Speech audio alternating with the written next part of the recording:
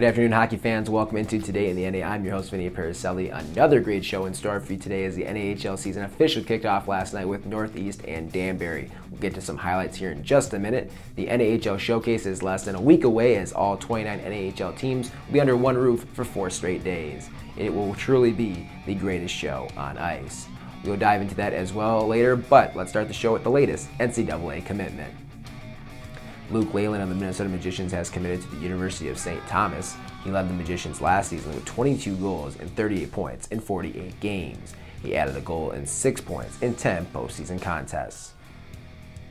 We've got highlights from the season opening game between the Generals and the Junior Hat Tricks. First game of the season, opening minutes of the game. David Andreychuk drives to net, can't get it to go. The puck is sitting there loose, and Paul Minahan puts home the loose change, and Northeast has the first goal of the year. It's 1 0 Gens A few minutes later, it's Jackson McCarthy coming down the wing. He throws to the net, and it apparently goes off the stick of the defenseman. McCarthy gets credit for it, and it's 2 0 Northeast.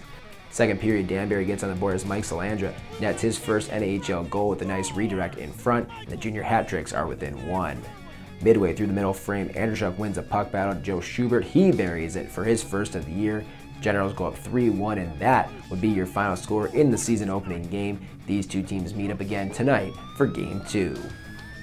We've got nine more games coming up this weekend. The Gens and Hat Tricks, like we just said, wrap up their series tonight. Meanwhile, out east, we've got New Jersey and Maryland going head to head before the showcase. Both teams are coming off playoff seasons and hope to get back there again this year.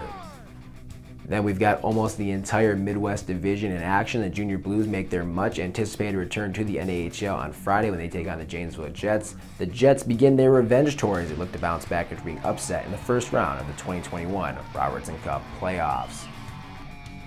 Kenai River visits Chippewa for a date with the Steel. New Chippewa head coach Casey Mignoni goes after his first NAHL win with a group that's ready to turn the page on last season and get to the playoffs this year.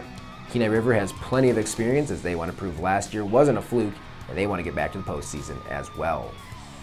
Finally, we've got Fairbanks and the Minnesota Magicians. The Magicians swept the Ice Dogs in Fairbanks in the first round of last season's playoffs. We're sure that hasn't sat well with the Ice Dogs players over the offseason, so we expect a good effort from them. The Magicians got a taste of the Robertson Cup a few months ago and are eager to get back to Blaine for another chance at a championship. Like we stated, the NAHL Showcase is less than a week away. All 29 teams will be under one roof for four straight days of wall-to-wall hockey. If you need a hotel, if you need a rental car, if you want to know how much tickets cost, head on over to nahl.com slash showcase. We've got all the info you need right there. That is going to do it for us here this week on Today in the NA. We'll be back in two weeks as we're going to be off for the showcase. We're going to have plenty of highlights posted on our social media channels throughout the week, so make sure you follow us on Facebook, Twitter, Instagram, YouTube, all the above, and be sure to visit NAHL.com for all the stats and live scores from the event. The showcase will be streamed live on Hockey TV, and we've got a great show prepared for you, so be sure to tune in.